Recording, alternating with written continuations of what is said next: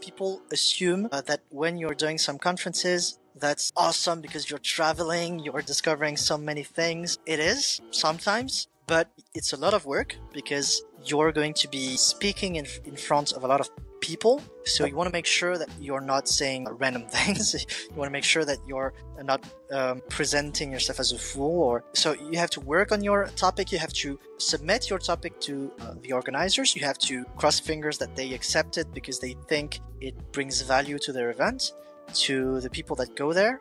So it's a, mm -hmm. it's a long process. It takes time. It's also a risk because you're exposing yourself. You're in front of a lot of people, sharing what you know. And mm-hmm. while it's a good thing, it's never a bad thing to share what you know and try to help others, some people are usually not that patient or they want to prove you wrong for some reason. And while you could be wrong, of course, there are ways to say it. And sometimes it's a bit rough. Not